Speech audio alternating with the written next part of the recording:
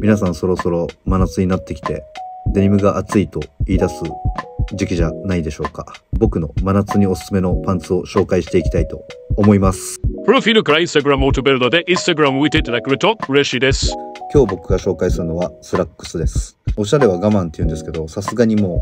僕も暑すぎて我慢できない時は結構スラックス着ます。こういうちょっと古着っぽい T シャツに、あの、こういう綺麗めのスラックスを合わせるコーデが結構好きで、あの、僕も真夏になったら結構スラックス履くことが多くなってきます。ハーフパンツ、あの、苦手な人いますよね。うん、僕もその中の一人です。毛もあるんですけど、あの、個人的にハーフパンツが似合わない気がして、あんまり履かないです。はい僕、仕事中は絶対靴履こうと思ってるんで、靴履い、あの、ブーツとか靴履いてるんですけど、あの、プライベートのさらっと外出かける時とかは、あの、このスラックスに ビーサン履いて、こういう古着の T シャツとか着て、こう遊びに行くこと多いですね。フェードした、ちょっとやれてる T シャツにこういう綺麗めのスラックスを合わせるコーデとか結構好きなんで、僕、重宝してスラックスは、はい、履いてます。真夏に履くんだったらベージュとか涼しい色とかおすすめですね。スラックスとは限らないんですけど、まあ、こういうベージュの色のパンツって基本的にどんな色でも合うんで、僕はこのスラックスは1本こういうベージュを持ってるとおすすめです。真っ黒のスラックスもすごいかっこいいんですけど、こういうフェードした T シャツとかやれてる T シャツの下に真っ黒の T シャツを合わせると個人的になんか下と上の温度差がすごすぎて、なんかめちゃくちゃぼやーっとした、なんか感覚の話なんですけどね、めちゃくちゃぼやーっとしてフェードして、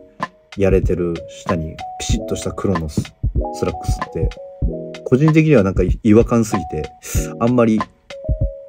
合わせないんですけど、まあこういうベージュのパンツはすごい何でも合うので結構おすすめです。あの古着屋、まあ、ベージュのパンツってマジでどこ行ってもあるユニクロ行ってもあるし、まあ多分 GU 行ってもあるし、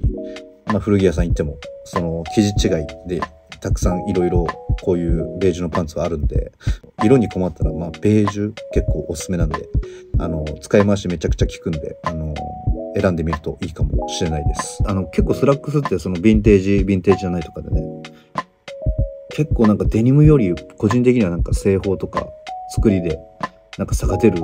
アイテムだなって思うんで、なんかすごいまあまあ古いやつとかだとなんかね、うん、なんか、うん、伝えづらいけどすごい、さらっとした生地に結構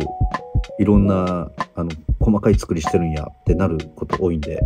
スラックスもいろいろ範囲広げて探してみるといいかもしれないです。夏に向けて皆さんも一本スラックスを探してみてはいかがでしょうか。ご視聴ありがとうございました。